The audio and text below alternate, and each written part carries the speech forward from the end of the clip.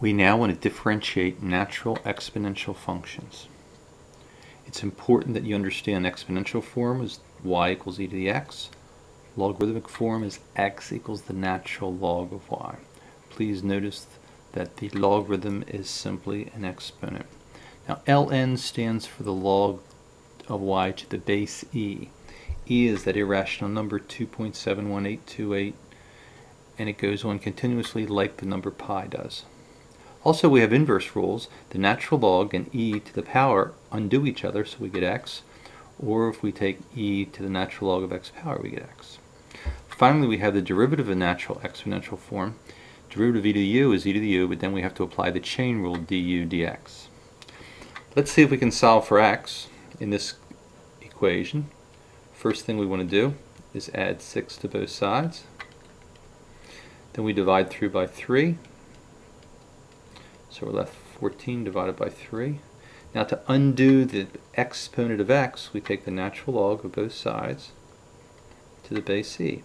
And this undoes it, so we wind up with x equals the natural log of 14 divided by 3. So that would be our answer. We could, however, write an approximation to that, which would be 1.54 0.04.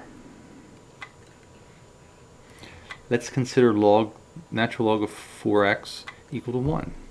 If we use that each of these as a power, we have e to the natural log of 4x equals e to the first. These undo each other, so we're left with 4x equals e to the first power. Divide through by 4, so x equals e divided by 4. Again, using our calculator, we could come up with 0.6796 and this is an approximation. Suppose we start with y equals e to the negative 3 divided by x squared. We're interested in the derivative. Let's first rewrite this in a more convenient form, e to the negative 3 x to the negative 2. To find the derivative, we rewrite the original function, e to the negative 3x to the negative 2 then we take the derivative of our u, which would be 6x to the negative 3. So in a more convenient form, we'd have e to the negative 3 over x squared with a 6 out in front and an x cubed in the denominator. Finally, let's look at the derivative of e to the x squared natural log of x. To take the derivative, we recopy the original function exactly as it is. And now we need to take the derivative of the exponent. Here we have a product, so we have to apply the product rule. x squared, the derivative of the natural log of x, is 1 over x, plus the natural log of x times the derivative of x squared, which would be 2x.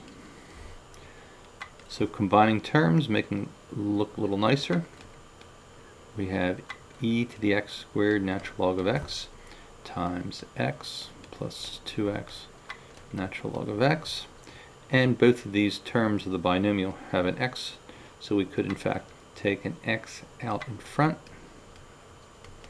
and we'd be left with 1 plus 2 natural log of x.